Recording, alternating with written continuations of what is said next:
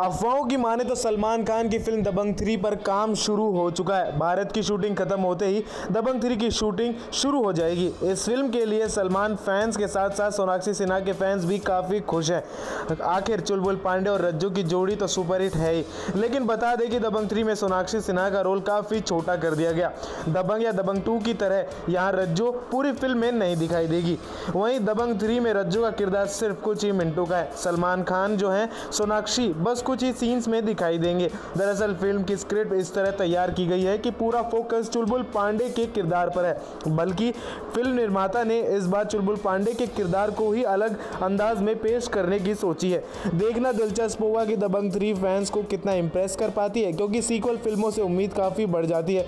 Film का निर्देशन प्रभु देवा करेंगे, जबकि प्रोडक्शन की ज़िम्मेदारी सलमान खान खुद या अरबाज खान निभा सकते हैं। रिपोर्ट्स की माने तो सलमान खान की दबंग थ्री की कहानी रियल घटना पर आधारित होने वाली है।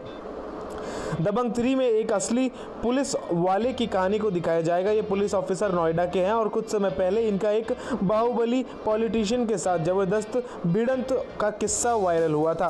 वहीं फ़िल्म नोएडा के एक पुलिसकर्मी की कहानी है। यही वजह है कि मेकर्स ने इसे खास बनाने के लिए सेट की रियल लोकेशन को शूट करने का फैसला किया है। प्रभु देवा ने कहा कि फ़िल्म की स्क्रिप्ट पर काम पूरा हो चुका है। सलमान भी स्क्रिप्ट सुन चुके हैं। जल्दी फ़िल्म फ्लोर पर आ जाएगी। दबंग थ्री में कॉमेडी, इमोशन, एक्शन सब कुछ आपको देखने को मिलेगा।